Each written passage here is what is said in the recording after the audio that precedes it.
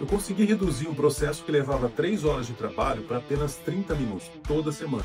Em um ano, isso significa ganhar por volta de mais de 120 horas de trabalho estratégico e fazer coisas mais importantes do que trabalho operacional. Tudo isso com a ajuda de um script do ChatGPT.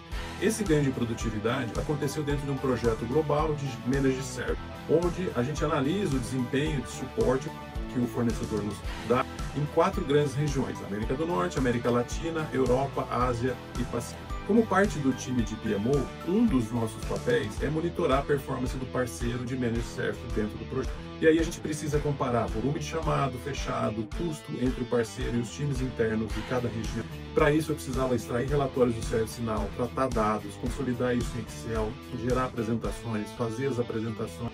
Cada análise levava aí cerca de 45 minutos por região, ou seja, 3 horas de trabalho no total por semana. Isso sem contar a variabilidade e o risco de erro. Eu decidi experimentar algo novo. Pedi ajuda do ChatGPT para criar um script em Python que pudesse automatizar.